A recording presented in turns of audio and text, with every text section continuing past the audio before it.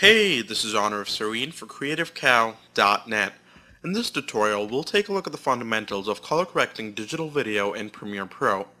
Since the introduction of Premiere Pro in 2003, the color correction tools have gradually evolved and new filters have been added with every release. So if you don't see the color correction filters being used throughout this tutorial, please note that they may only be available in version 2.0 of the application. To color correct your footage, go to the color correction workspace by either using the keyboard shortcut Shift plus F12 or by going to Window, Workspace, Color Correction. Once in this workspace, you'll notice that our video has a yellow and green tint and our goal is to eliminate this tint as best as possible. Navigate to your effects panel and search for the Fast Color Corrector effect in the Color Correction folder. Drag and drop this effect onto your video in the timeline. Once you have applied the effect, head over to the effects control window and let's start color correcting.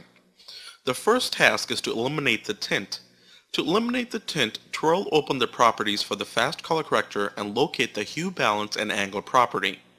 Since our image has a yellowish tint, we want to push the center circle in the opposite direction, that is towards the blue areas.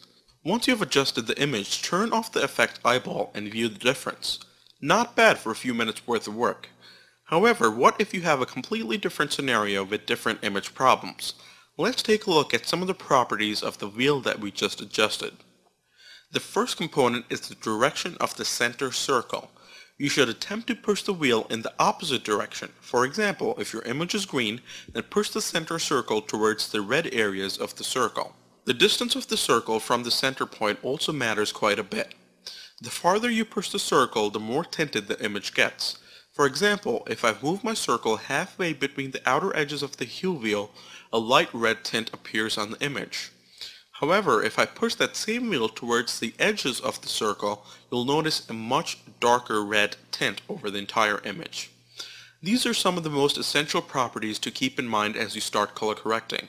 In the next few tutorials, we'll take a look at the advanced concepts of color correction. So stay tuned and thanks for watching.